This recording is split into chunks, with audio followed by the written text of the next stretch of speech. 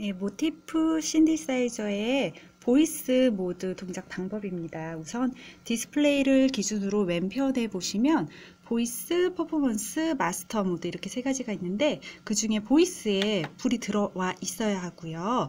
이 voice에 불이 들어왔으면 어, 디스플레이 창을 기준으로 오른편에 보시면 이렇게 많은 버튼들이 있어요. 이건 무슨 뜻이냐면 어, preset 1, preset 2 그리고 여러 가지 있고 뭐 plug board까지 있는데 저희 plug board에는 어, 소리가 세팅이 되어 있지 않아요. 그래서 유저까지 소리가 있습니다. 그래서 프리셋 1의 A에는 총 16가지 음색이 있고요. 그리고 프리셋 B에도 16가지 음색이 있고요. 이렇게 해서 예를 들어서 프리셋 B의 원을 선택을 하면 이 음색은 뭐 어, 코러스들 음, EP 소리 중에 하나네요. 그래서 이거를 소리를 바꾸는 방법은 뭐 휠로 조정을 하시면은 이렇게 소리가 바뀌어요. 근데 이렇게 찾게 되면은 조금 번거롭기 때문에 조금 더 쉽게 음색 단일 음색을 찾는 방법은요.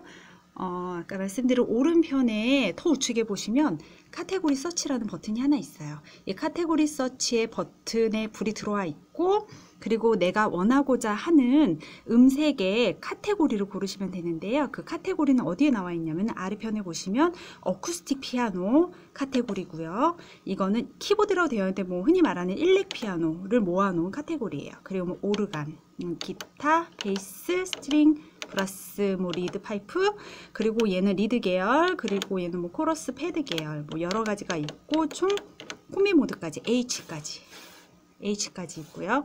예를 들어서 뭐 피아노 카테고리 중에서 어 제가 음색을 하나 골라서 써볼게요. search에 불이 들어와 있고 어, category search에 불이 들어와 있고 그리고 피아노가 선택이 되어져 있고요. 이런 상태에서 디스플레이 창을 보시면 이렇게 나올 거예요. 그러면 피아노, 어쿠스틱 피아노 음색만 쫙 모아놓은 거예요. 이거를 선택하는 방법은 버튼으로 내리거나 올려서 선택하거나 아니면 위에 있는 wheel을 사용하시면 선택을 하실 수가 있어요. 바로 선택이 되고요.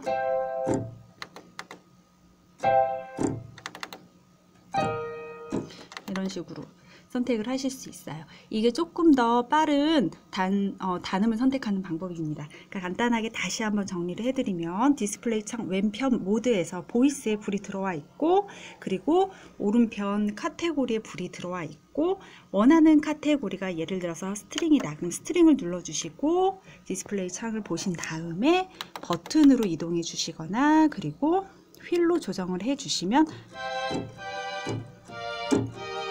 이렇게 원하는 음색을 찾아서 쓰실 수가 있어요. 이거는 단일 음색을 고르는 방법이고요.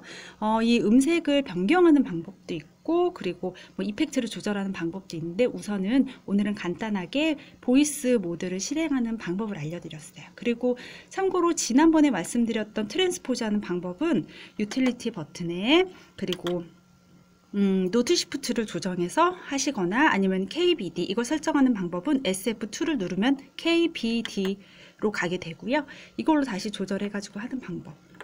이렇게 해서 두 가지 방법이 있고요. 효과는 똑같아요. 우선 그렇게 하시면 되고 더 뭐 고급 고급도 고급 작동법이나 뭐 어, 효과를 조절하는 방법은 제가 나중에 천천히 다시 한번 알려드리도록 할게요.